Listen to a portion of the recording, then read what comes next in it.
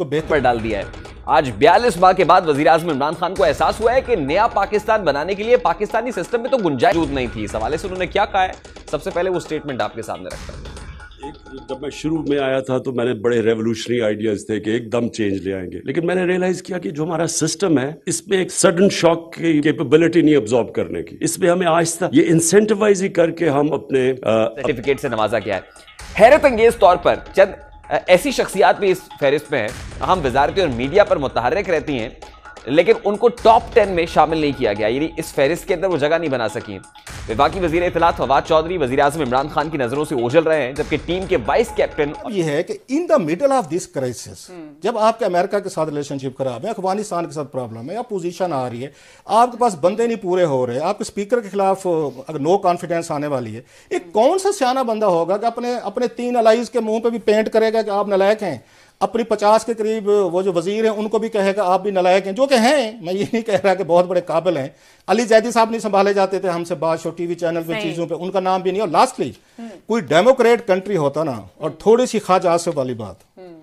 कुछ कुछ कुछ आज इन बाकी चालीस लोगों को रिजाइन कर देना चाहिए था। इमरान खान साहब को कि खान साहब आप हमारी जगह नई टीम लेके पार्लियामेंट में तो दोस्तों जैसा कि आपने छोटे छोटे वीडियो देखे इस वीडियो में आप क्लियरली समझ जाएँगे कि इमरान खान कितने इमेच्योर पॉलिटिशियन है, हालाँकि व्यक्ति भी रहे होंगे इमेच्योर ये तो कह नहीं सकते, लेकिन पॉलिटिशियन तो परफेक्टली इमेच्योर है और रॉब क्लासरा ने ये साबित कर दिया है। किस तरीके से ये पॉलिटिक्स कर रहे हैं, ये बड़े ही मतलब एक बेवकूफ़ी ही है। पहले ये पूरा वीडियो देखते हैं, फिर वीडियो के अंतिम भाग में करते हैं कुछ बात। प्लीज़ चैनल को का सारा मलबा मौजूदा निज़ाम पर डाल दिया है। आज 42 माह के बाद वज़ीर आज़म इमरान खान को एहसास हुआ है कि नया पाकिस्तान बनाने के लिए पाकिस्तानी सिस्टम में तो गुंजाइश नहीं थी। इस हवाले से उन्होंने क्या कहा है? सबसे पहले वो स्टेटमेंट आपके सामने रखता है। जब मैं शुरू में आया था तो मैंने बड़े रेवोल्यूशनरी आइडियाज़ थे कि एकदम चेंज ले आएँगे। लेकिन मैंने रियलाइज़ किया कि जो हमारा सिस्टम है इसमें एक सडन शॉक की कैपेबिलिटी नहीं ऑब्जॉर्व करने की। इसमें हमें आहिस्ता ये इंसेंटिवाइज ही करके हम अपने अ, अपनी मिनिस्ट्रीज और अपनी ब्यूरोक्रेसी के अंदर पॉजिटिव चेंजेस लेके आएँगे। पाकिस्तानी निज़ाम में गुंजाइश ना होने के बावजूद वज़ीर आज़म पाकिस्तान इमरान खान ने बेहतरीन कारकर्दगी के हामिल के हामिल वजरा को शानदार काम करने पर तारीफी असनाद से नवाज़ दिया है। दिलचस्प बात यह है कि जहाँ आला कारकर्दगी दिखाने वालों के लिए जजा का ऐलान हुआ है, वहीं बुरी कारकर्दगी के लिए किसी सजा का कोई ऐलान नहीं किया गया। हैरान कुन तौर पर वजारतों की हालिया कारकर्दगी अगस्त 2021 में जारी की गई हुकूमत की कारकर्दगी रिपोर्ट से बिल्कुल मुख्तलिफ़ है। छह माह कबल हुकूमत जिन वजारतों की कारकर्दगी का क्रेडिट ले रही थी, आज वो कारकर्दगी पहले दस बेहतरीन वजारतों में भी जगह नहीं बना सकी है। हुकूमत का छह माह कबल दावा था कि गुजशत तीन बरस में मुल्क की मीशत को बेहतर बनाया है। एहतसाब के अमल के लिए इकदाम किए हैं। महँगाई को कम करने के लिए भरपूर कोशिशें हुई हैं। वजी अजम इमरान खान का दावा है कि वजरा की कारकर्दगी रिपोर्ट जारी करने का मकसद मुकाबले की फजा, यानी मसाबकती फजा कायम कर मिनिस्टर्स को क्या कहूँ, अगर कोई मेहनत नहीं करता तो हम कहते रहते हैं, मेहनत करो, लेकिन फ़र्क नहीं पड़ता। लेकिन जब सबके सामने अब मार्क्स पढ़े जाएँगे, सजा और जजा होगी तो इनशाला ये जो हमारा बाकी टेन्योर है, इसके अंदर हमारी जो परफॉर्मेंस है, वो गवर्नेंस सिस्टम हमारा बहुत बेहतर होगा। अब जरा वज़ीर आज़म की कैबिनेट की परफॉर्मेंस आपके सामने रखते हैं। आज जारी होने वाली फहरिस्त में वजारत मवासलात पहले नंबर पर रही है, यानी मुराद सईद साहब की वजारत। वज़ीर आज़म इमरान खान ने खसूसी तौर पर मुराद सईद की तारीफ़ भी की है। ये वही वजारत है जिसमें मुराद सईद साहब जो है उनके दौर में ही टोल टैक्स में तकरीबन 300 से 1400 रुपए का इजाफा हुआ। सड़कों के पुराने मंसूबों पर नई तख्तियाँ लगाई गई, मगर इसके बावजूद मुराद सईद की वजारत मवासलात अव्वल नंबर पर आई है। स्टैंडिंग उसकी फ़र्स्ट है। वज़ीर आज़म की फहरिस्त के मुताबिक असद उमर की वजारत मनसूबाबंदी ने दूसरा नंबर हासिल किया है। हालाँकि वजारत खजाना से उन्हें व्हाट्सएप पैगाम भेजकर बरतरफ किया गया। आपको पता है कि कैसे म्यूजिकल चेयर रही कैबिनेट जबकि अपने कारोबारी दोस्तों को 250 अरब के फवायद पहुँचाने के इल्ज़ाम का भी उन्हें सामना रहा। वजारत तखफीफ गुर्बत यानी पॉवर्टी एलिविएशन से सानिया नश्तर का तीसरा नंबर रहा है जबकि आज ये खबर सामने आई कि दोनों नलायक निकले हैं। ये कैबिनेट है जरा सोचते हैं ये ये आप अपने अलाइज को मैं भी इस पे आता हूँ अपने लोगों के साथ जो कुछ अलाइज का देख रहा हूँ कुछ समझदार आदमी काम करता है। खैर वो खान साहब हैं कर सकते हैं। इसके बाद उन्होंने जनाब आपकी इसके ये M Q M Farogh Naseem साहब भी नलायक निकले हालाँकि उनसे ज़्यादा तो किसी ने मेरा ख्याल किया नहीं होगा जितने बेचारे वो मेहनत करते रहे इनके लिए पता नहीं क्या कुछ नहीं किया उन्होंने एस्टेब्लिशमेंट को खुश करने के लिए वजारतों के लिए बला बला चीज़ें। उनके दो मिनिस्टर थे दोनों के दोनों नलायक निकले हैं। अब आपके अलाइज तो निकले हैं नलायक। अच्छा पहले ये डाकू थे चोर थे करप्ट थे फिर वो आपको पता कराची में कातिल के तौर पर जाने जाते थे। अब वो नलायकी का भी दे दिया कि जनाब ये जो- ये टीम मुझे दी गई थी या मैं लेके आया था ये यहाँ पे करप्ट भी थे ये पंजाब के डाकू भी थे ये यहाँ पे आपके कातल भी थे उसमें ये कराची वाले सब कुछ थे। ये तो नलायक भी हैं ये तो काम भी नहीं करते। ये खुद कह रहे थे कि मेहनत नहीं करते वज़ीर मैं क्या करूँ? मैं खान साहब ने कहा मैं नहीं कह रहा। एक तो ये जरा समझदारी देखे। दूसरा ये किसी रियासत के ये पिलर क्या होते हैं चलाने वाले? तीन होते हैं। आपकी फाइनेंस होती है आपका डिफेंस होता है आपका फॉरन होता है। अगर इस मुल्क का डिफेंस मिनिस्टर नलायक है, इस मुल्क का फॉरन मिनिस्टर नलायक है, इस मुल्क का फिनांस मिनिस्टर नलायक हो तो ये आपकी हुकूमत चल कैसे रही है? इट मीन्स कि आप इनको यू टेकिंग देम डाउन अच्छा परवेज, ये खटक साहब से मैं कभी नहीं मिला, ना मेरे को उनको अगेन याद पर शायद एक दफ़ा मुलाकात हुई को आज से दस साल पहले जब वजी अला बने थे तो एक दफ़ा शायद मिले थे यहाँ पे कोई सहाफ़ी को ग्रुप के साथ। लेकिन मुझे ये बताएँ एक एक आपको डिफेंस मिनिस्टर को एवेल्यूएट करने का क्या तरीका है? भाई इंडिया से अगर आपका वहाँ पे आपका झगड़ा हुआ लड़ाई हुई तो जीत गए असी जीत गए। यहाँ कि हमारे पैलेटों ने उन्होंने मेहरबानी की अल्लाह उनको इज़्ज़त दे हमारे पैलेट्स को उन्होंने बड़ा आके पाकिस्तान का नाम रोशन किया उन्होंने जहाज़ गिराया इंडिया के आपने उनको कैप्चर भी किया। तो जो वार वहाँ पे सीज फायर हमारी शर्त पे हुई थी दूसरे लफ्जों में जो भी कहें सुलह सफ़ाई हुई तो वो तो आपको डिफेंस मिनिस्टर ने वार जीत के दिए। चाहे उनका टक्के का रोल भी ना हो चाहे पाकिस्तान एस्टेब्लिशमेंट इनको वहाँ पे एंटर ही ना होने दे उसमें उसमें जीएचक्यू में जाते भी ना हो। मुझे समझाया डिफेंस मिनिस्टर को एवेल्युएट कैसे करेगा जिसने एक साल पहले आपको एक जंग जीत के दी है। वो अभी नलायक निकला है जनाब। अच्छा शाहमुद कुरैशी साहब अमन मतीन साहब ये सारी आके उसमें चीज़ें बता रहे थे कि उन्होंने फलां फलां चीज़ें की हैं। अभी अब चाइना से हो गए बिलावल ने बाल तो ठीक ही है ना। अगर आपका नलायक है आपका ये फॉरेन मिनिस्टर तो चाइना फिर नलायक भी आपकी आपकी नाकाम आपकी विज़िट थी। फिर तो अब डिजास्टर कर गए। इट मीन्स कि इमरान खान साहब उनसे खुश नहीं है। अभी उस पर ये है।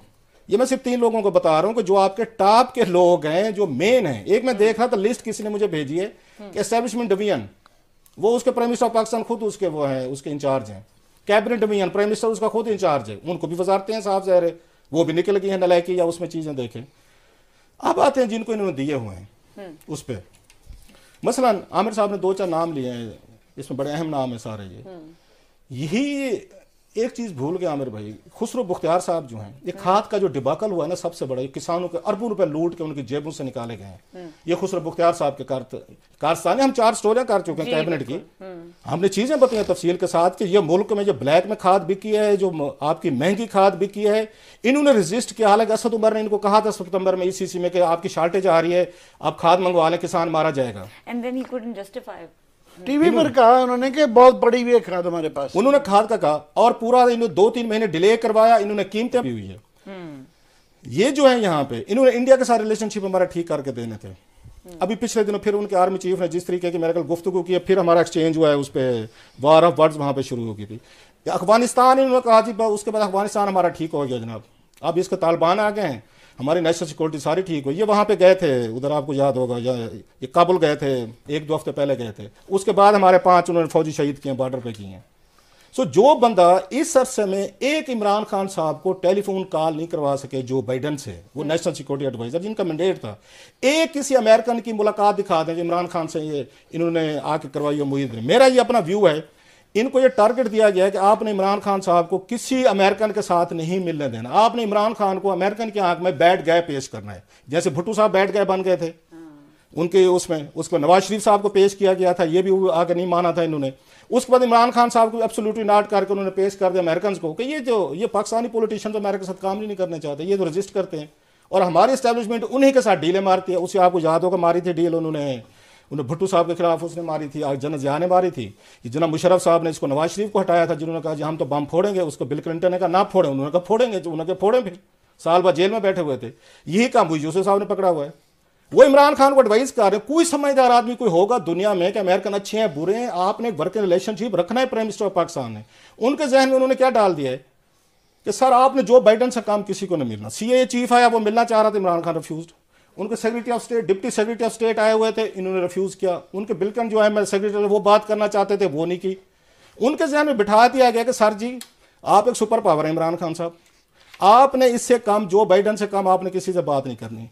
अदर साइड दूसरी साइड पे सारे अमेरिकन स्टैब्लिशमेंट से मिलते हैं। आर्मी से भी मिलते हैं जीएचक्यू से भी मिलते हैं, सारे लोग मिलते हैं। एम्बेसडर भी उनके मिलते हैं जार के। आपने कभी देखा किसी अमेरिकन एम्बेसडर के साथ इमरान खान साहब की मुलाकात हो रही है? कोई एक, कोई आपने कभी सुना हो? इन ढाई तीन सालों में हो सकता है मुझसे गलती हो रही हो।